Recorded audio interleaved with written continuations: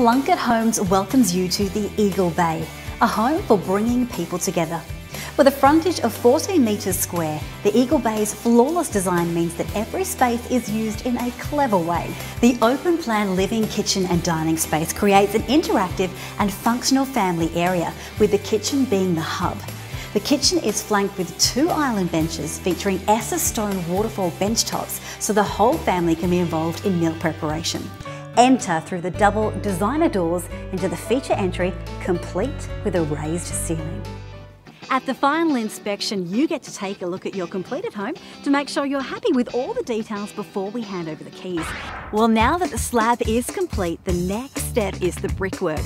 Your home will really start to take shape. Our team will, of course, be in touch with you to keep you updated, and I'll be in touch very soon to tell you exactly what's been happening. So, we're almost finished, and we now expect to be able to show you through your brand new home. In the months leading up to the construction of your new home, our builders have worked hard to ensure your home is constructed to the high standards that come with every Plunkett home. It was drama from the beginning. Uh, the minute Roxanne got out of the car to walk towards us, would you believe it? The sky opened and there was a massive downpour of rain, and I was going, no, no, get back in the car. And the minute, Roxanne, you got out of the car, there was a Oh. huge downpour, and somehow the cake has managed to It survive. has. Now, Thank course, goodness. There's a few drops, but it's okay. water and rain is fondant's worst it's, enemy. it's not a good thing if it gets too wet. Not what we need at this time. The timing's right off. No. Alrighty, so whether to put the umbrella away and do a dash, or whether to keep the umbrella is the question. Oh, we might just we might just check it. Check Yeah, it. Check it, and then we'll make a decision from there.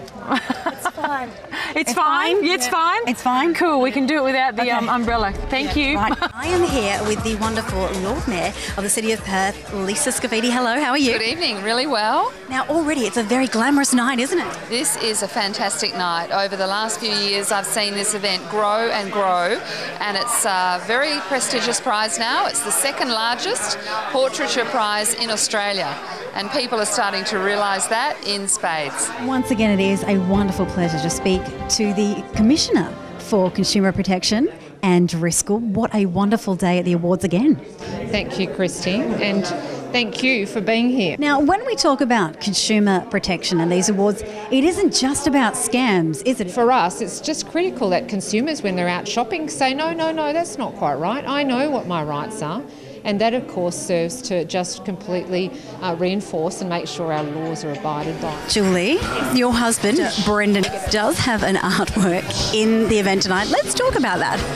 Um, have you seen it, Kristy? I have seen it, yes. It was a little confronting for me, considering I know Brendan. What did you think? Were you impressed?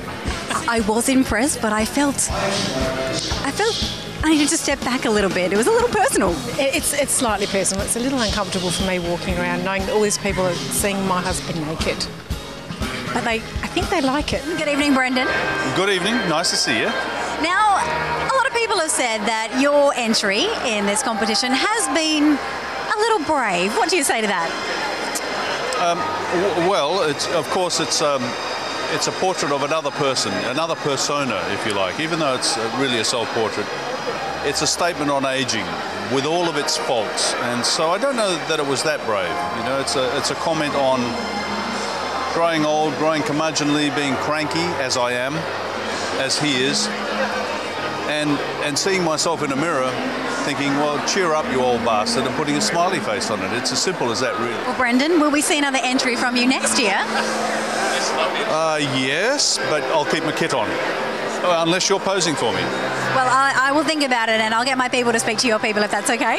You're on. Roll up, roll up. Welcome to another episode of Undercurrent. Here at Undercurrent, we think there's no better initiation for our brand new reporters than to send them out on the streets to talk to you. I have been uh, bombarded with feathers. It's been a lot of fun by all my friends here.